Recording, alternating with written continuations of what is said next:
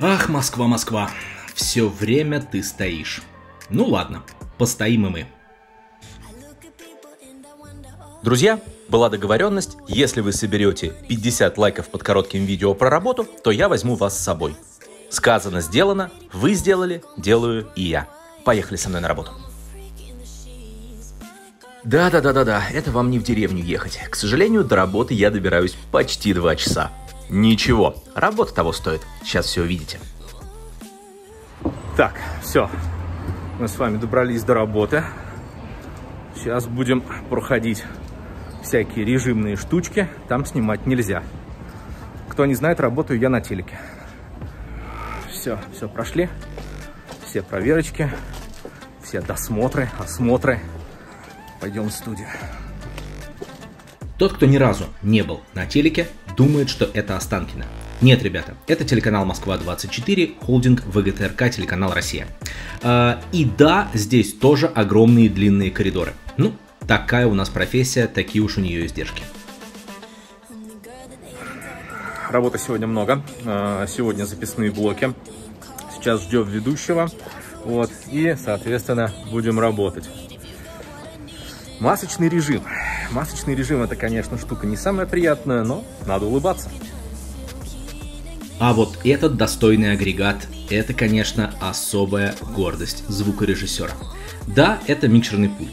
Да, это все звуки, которые вы слышите. Это все звуки со всех источников, и это очень долгая и сложная история. Но как красиво-то, а? Теперь вы понимаете, почему я выбрал эту профессию? То, что вы сейчас видели, это звукорежиссерская аппаратная прямого эфира. Я работаю на записном блоке, у меня своя аппаратная. А, там пульт чуть-чуть поменьше, я вам его отдельно покажу. А сейчас я вам покажу самое сердце канала, это режиссерская аппаратная. Поработаем? Ну, можно, в принципе, а что? Так. Аппаратная прямого эфира – это действительно, без преувеличения, сердце телеканала. Обычному человеку сюда ни при каком раскладе и ни при каких условиях не попасть. Извините, режим, извините, объект особого назначения. Но, тем не менее, я работаю здесь, и поэтому у вас есть возможность посмотреть на все это моими глазами. Что мы видим? Мы видим огромное количество экранов и огромное количество видеосигналов. Их отсматривает режиссер и, согласно своему сценарию и плану, выдает в эфир. Вот и все. Ну, а это, друзья мои, студия телеканала «Москва-24».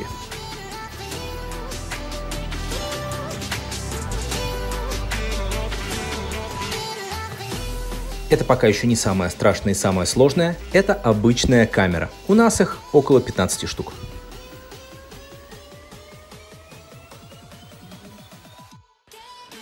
А это что за штуковина? А это, друзья мои, настоящий кран – да-да-да, так это и называется. Это камера-кран. А, телескопическая часть раздвигается на 6 э, или 8 метров, я уж не знаю точно. И на верхушке действительно камера, которая может вращаться по трем осям. Не благодарите, я знаю, это интересно.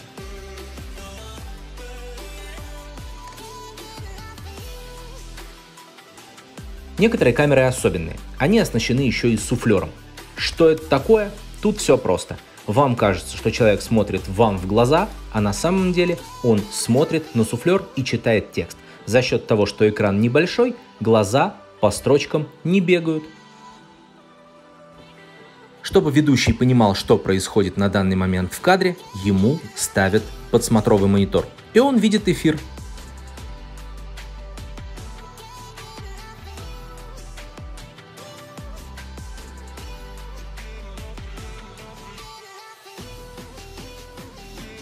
Понятное дело, главная зона – это зона прямого эфира.